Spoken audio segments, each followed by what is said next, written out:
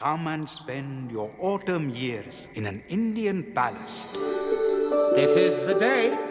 It's a luxury development where all the residents are in their golden years. Like the coast of Florida? Yeah, but with more elephants. Flight 247 to Delhi is boarding now. Would you like some of this? I believe it's called aloo ka paratha. Now, if I can't pronounce it, I don't want to eat it. Is this your first time in India? Yes. Do you think we'll be all right? It's going to be extraordinary.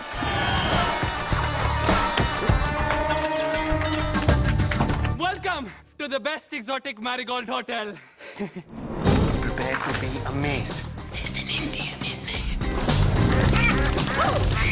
I want to stay at the other hotel, the one that's in the brochure. In India, we have a saying everything will be all right in the end. So if it is not all right, it is not yet the end. This is a new and different world. The challenge is to cope with it. And not just cope, but thrive. I got a job, my first ever. I'm about to make the first public speech of my life. Imagine them naked. I'm afraid I gave that up several years ago. Ah, there you are. Good as new. Really? No, of course not. Would you like me to not fix that chair? How can you bear this country? What do you see that I don't? The light, colours, smiles. It teaches me something.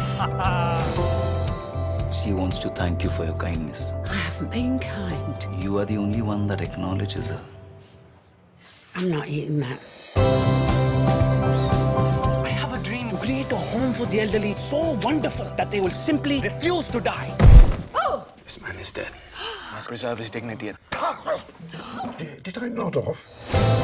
India, like life itself, I suppose, is about what you bring to it. I'm really loving this! You all right? Just want a glass of water. That was a gin and tonic. Hmm. I know that now. The best exotic Marigold Hotel. You're not worried about the danger of having sex at your age? If she dies, she dies.